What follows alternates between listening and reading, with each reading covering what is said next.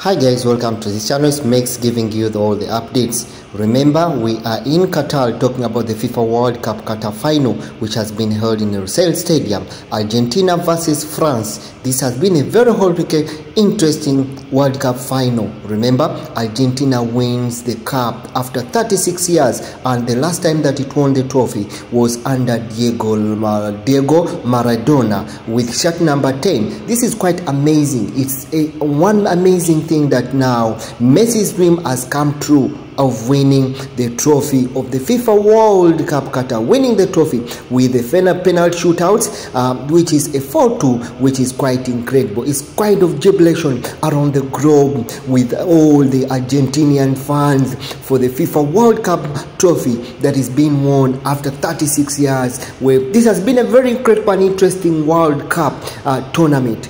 Thank you so much for Qatar for holding us, give us the hospitality. It's quite amazing. It's just something that you cannot imagine yourself. Thank you so much for coming back. To If you first time, consider supporting and subscribe to this channel.